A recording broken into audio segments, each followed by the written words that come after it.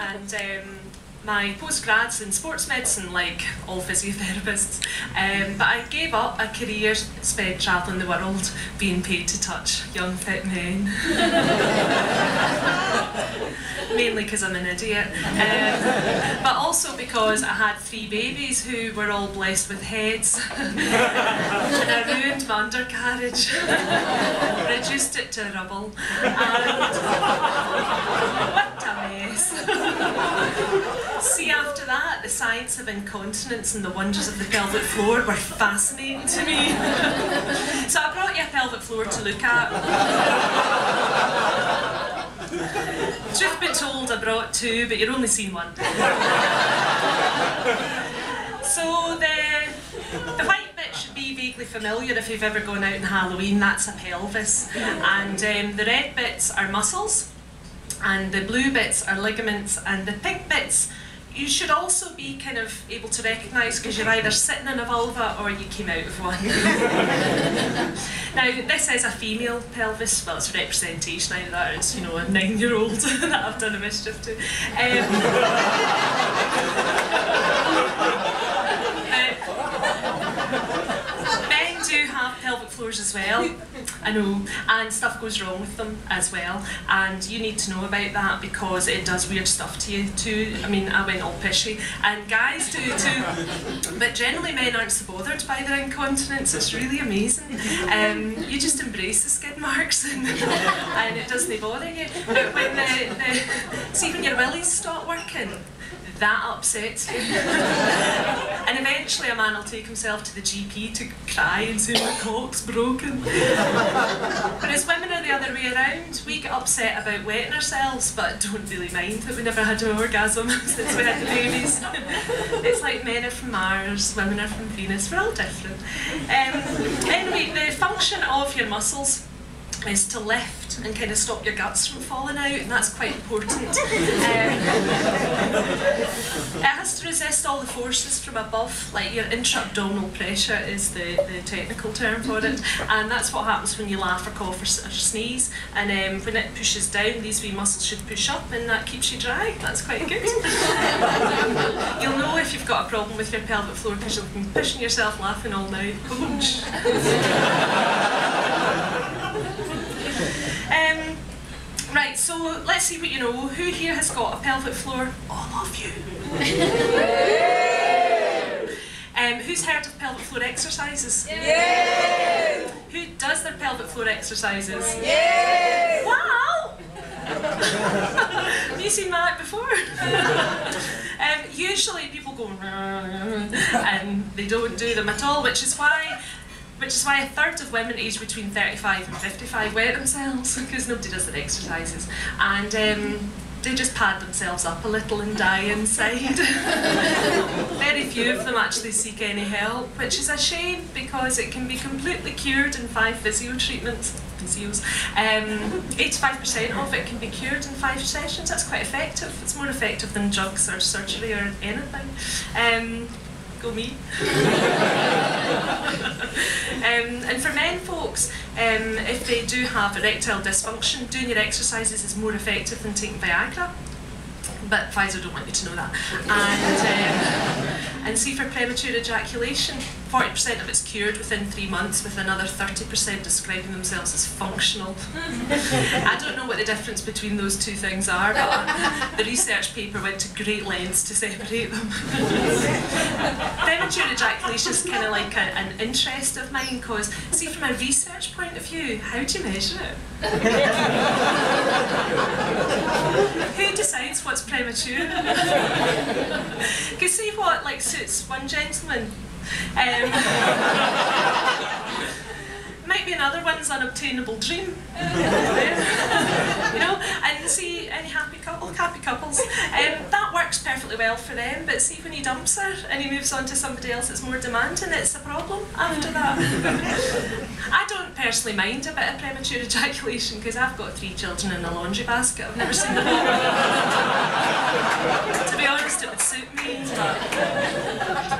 make him do his pelvic floor exercise.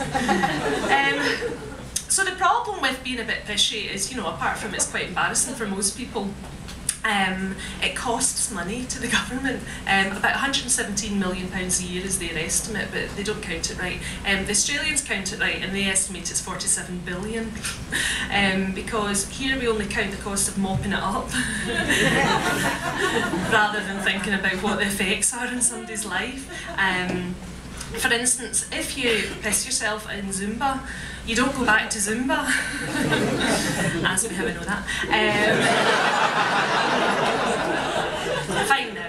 and diseases of inactivity um, cause problems like heart disease, and heart disease kills one in five women in Scotland, and generally that's not very funny at all.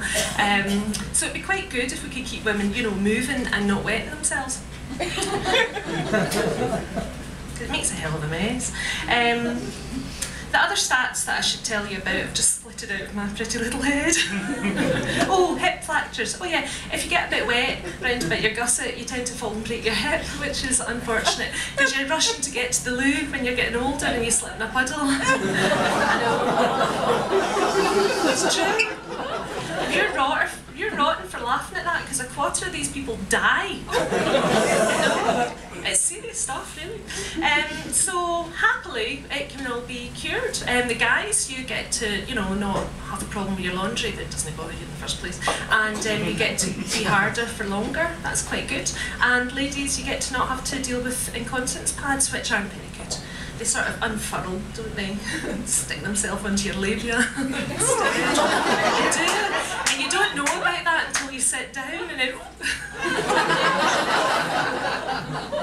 you know this fashion that's come in with all these baldy pudendas everywhere? That's where it's come from. A third of women in my age, we started all. Entirely by accident. Um, so, exercises. Would you like to know what these magical exercises are that can make you bang on for hours, boys? yeah, yeah. yeah. for a minute there, I thought all the men had gone. um, there's two main exercises. Um, the first one is just a long clench for about a count of 10, and the second one is 10 quick flicks in a row. And these are important for reasons that I could bore you with, but I'm not going to because it would take forever and really you're not interested because you're not a physio. But what you are interested in is how not to wet yourself, so we'll move swiftly on to that. um, see if you imagine that you're on a date, say in the stand with somebody that you really like. Um, now, you can feel a wee fart brewing, and you're not going to ruin the effect of presenting yourself as being a sophisticated kind of lover type by letting rip. So you're going to hold on with your bum hole. You all know what I'm talking about. That's you working your pelvic floor.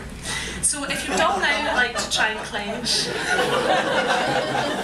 you have to breathe at the same time, that's quite important. And if you can try and not kind of go up your seat, because that's you using your buttocks and that's the wrong thing entirely. Um, if you're not sure about, I've got wee analogies to help. Um, ladies, if you imagine that you're trying to make enough space, I mean it's only a wee movement, it's like that. If you try and imagine you're making enough space for somebody to slip a folded £50 note into your pants, that's the movement. I know. It's a terrible, terrible visual image that offends every single one of my feminist principles, but it works. Um, so it's fair. And see, if the guys, if you imagine that you're walking into water, quite cold water and it's getting higher and higher and higher and you know that the next three waves just going to lick the bottom of your testicles. really cold water. That's the movement.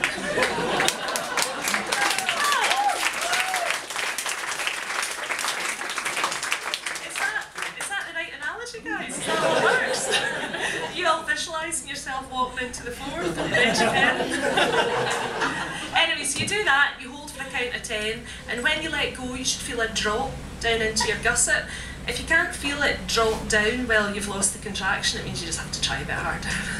um, the 10 quick flicks in a row, you're going to go, oh, I'm in the water. No, I'm not. 50 quid. Only a five. 10 in a row. Again, if you're going up and down in your seat, you're cheating.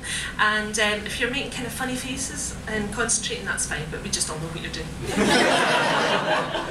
now, the secret to these exercises is you have to do them three times a day, every day for three months. and then it, it really works. You know, more effective than surgery. That's me. Um, the problem is that people forget, and physios we're not very good at encouraging compliance because we tend to bang on about you know wetting yourself, which isn't very glamorous. But sex sells, and I think that we should be banging on about you banging on because your whole sexual function's wrapped up in this. The nerves that supply your muscles also supply your tickly bits. Mm-hmm. So, ladies, see if you find that your orgasms are a bit weak, the chances are your muscles are too. And if you do your pelvic floor exercises, the research shows that within two weeks you'll be able to have orgasms without even thinking about Commander Hadfield.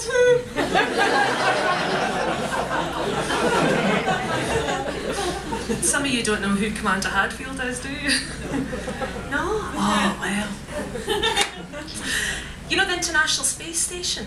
Like, he was the captain of the international, he was a proper actual astronaut. no, and he was tweet. He's on Earth now, so he lives in Canada, so he's not nearly so fanciful. You know that, you know that um, Bowie thing? Ah, that's, that's Commander Hadfield. There's a new guy called Luca, he's Italian. However, I do my pelvic floor exercises, so I never think about the man at all. I'm quite lost with train of thought. um, oh yeah, orgasms. Women are built for pleasure. See the clitoris? Well, no here, obviously, it's quite dark. Um, never find it. Um, a clitoris has got 8,000 nerve endings in it. That wee button bit that guys can't find. 8,000 nerve endings. See a bell end? See that huge expanse? That massive, really, wow. so big, wow, so massive, boys. The massive expanse of a bell end's only got 4,000 nerve endings. And that, guys, is why we don't like it when you rub it. like your Bear Grylls trying to start a fire. don't do that. Don't ever do that. Your massive, massive amazing cock is half as sensitive as that tiny wee bit. Leave it alone. know what you're doing first.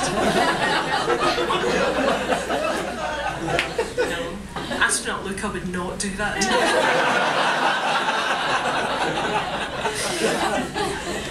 anyway, so that's my, my theory that if we kind of, you know, make it funny, then people would laugh and then they would talk and then we're not embarrassed about, you know, wetting ourselves in front of our neighbour and welcome mats don't make good incontinence pads. you could also ask me how I know about that. Nearly, nearly knocked her over with the giant tsunami of my steaming piss. It was awkward.